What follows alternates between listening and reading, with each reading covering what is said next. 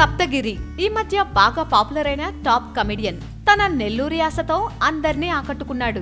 ఈ మధ్య సినిమాల మీద సినిమాలు చేస్తూ చాలా బిజీగా ఉన్నాడు. ఆయన ఇప్పుడు హీరోగా మారాడు. సప్తగిరి ఎక్స్ప్రెస్ అనే సినిమాకి హీరోగా నటిస్తున్నాడు.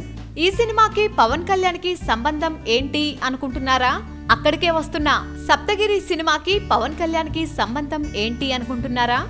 సప్తగిరి ఎక్స్ప్రెస్ సినిమా ఆడియోకి పవన్ రావటమే. పవన్ రావటానికి ఒక కారణముంది. సప్తగిరి ఎక్స్ప్రెస్ సినిమాకి అసలు టైటిల్ కాటమరాయుడు.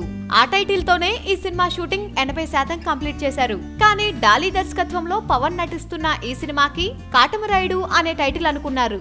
సప్తగిరి సినిమాకి ఆ టైటిల్ ఉందని తెలిసి కాటమరాయుడు ప్రొడ్యూసర్ ఈ టైటిల్ అడగగానే సప్తగిరి అంటే సంతోషంగా ఇచ్చారు. పవన్ కళ్యాణ్ కూడా అందుకు కృతజ్ఞతగా సప్తగిరి ఆడియో ఫంక్షన్కి వస్తాను అని మాట ఇచ్చాడట. మాట ఇచ్చినట్టుగానే ఫంక్షన్కి రావటమే కాకుండా గబ్బర్ సింగ్ సినిమాలో సప్తగిరి క్యారెక్టర్ చేశాడు.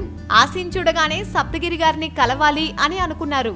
ఇలా కలుస్తాను అని అనుకోలేదు అని సప్తగిరి మీద అభిమానాన్ని చాటుకున్నాడు పవన్. ఆ మాటలకు భావోద్వేగమైన సప్తగిరి తనకు మైక్ అందగానే ఇంతమంది మెగా అభిమానుల మధ్య పవన్ కళ్యాణ్ సమక్షంలో నేను నా ఆడియో జరుపుకోవడం నా పూర్వజన్మ సుకృతం. ఇలాంటి రోజు నా జీవితంలో వస్తుందని అనుకోలేదు. పవన్ కళ్యాణ్ గారి నవ్వు చూస్తుంటే ఒక చిన్న పిల్లవాడిలా కనపడతారు.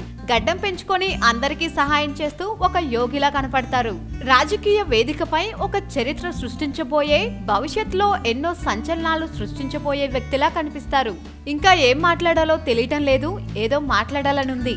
నా మనస్సంతా పవన్ కళ్యాణ్ గారు ఆవహించి ఉన్నారు అని భావోద్వేగంతో మాట్లాడుతూ పవన్ కళ్యాణ్ కాళ్ళకు నమస్కరించాడు. అలాగే చిరంజీవి గారు టీవీ చూస్తుంటే ఆయనకు పాదాభివందనం అని చెప్పాడు సప్తగిరి.